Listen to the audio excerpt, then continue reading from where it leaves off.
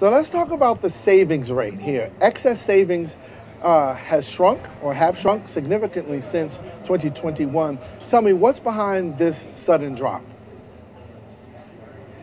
Well, of course, part of the, the fact that prices have been so elevated uh, post pandemic has drawn down those savings. But you know, it's it's not as bad perhaps as we might say. So pandemic, this excess savings was really just a calculus, uh, really publicized by the San Francisco Federal Reserve, where it talks about savings have been over and above the pre-pandemic trend. We pulled all those back. We're we're back down to our more normal levels of savings. But you got to remember, there's a difference between the stock of savings and the flow. Uh, at this point, we still see um, a, a pullback in consumer spending that we'll see later this year. That's part of the implications. You asked, you know, why do we care about uh, savings rates and excess savings? Uh, it's it's certainly going to put a little more pressure on the consumer as we go through the summertime and going into the third and fourth quarter of this year. Uh, what risk does the the the shrinking of the uh, excess savings rate what does what risk does that pose for consumer spending? Yeah, so I, th- I think it's important to remember the, the domestic economy is supported by upper income households, and those upper income households are typically homeowners, and so have a little less pressure on them from rising interest rates. Uh, a lot of people locked in very low mortgages right after the pandemic when interest rates were so low. And so mortgage debt financing costs are, uh, or, or servicing costs are pretty low for that, that segment. Uh, you know, I think we're, we're still seeing really two very two different economies the haves and the have nots.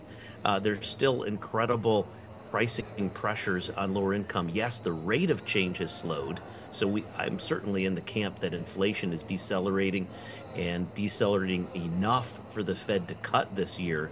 But the levels of prices still a, a challenge for many households. Do you, do you expect the change in the savings rate to start to change consumer habits? And by that I mean, you know, right after the pandemic, it was like YOLO, right? Everybody was spending on travel, and you only live once, and revenge travel, and all these other different words that we came up with. Um, so, do we return now back to kind of like a, a normal kind of spending pattern where people are not going all out on trips and on restaurants, and they're spending their income mainly on, you know, everyday items?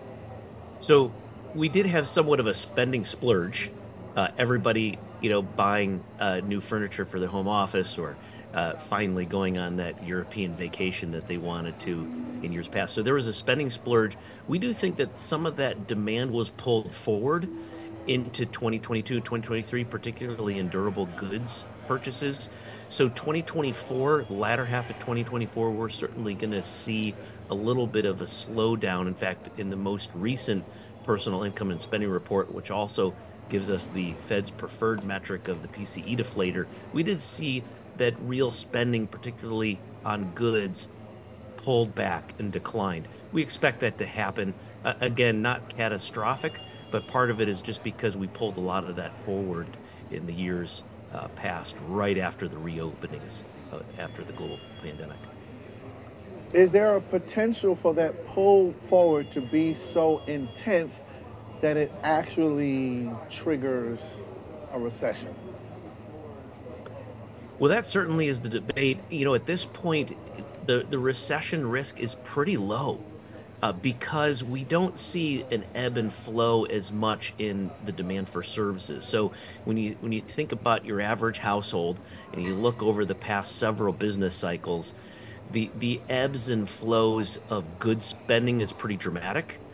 The the spending on services is not as volatile, and it makes sense, right? It's healthcare, it's housing, it's food, it's some of these uh, services insurance that you rec- regularly, uh, and so you're you're certainly going to see a slowdown.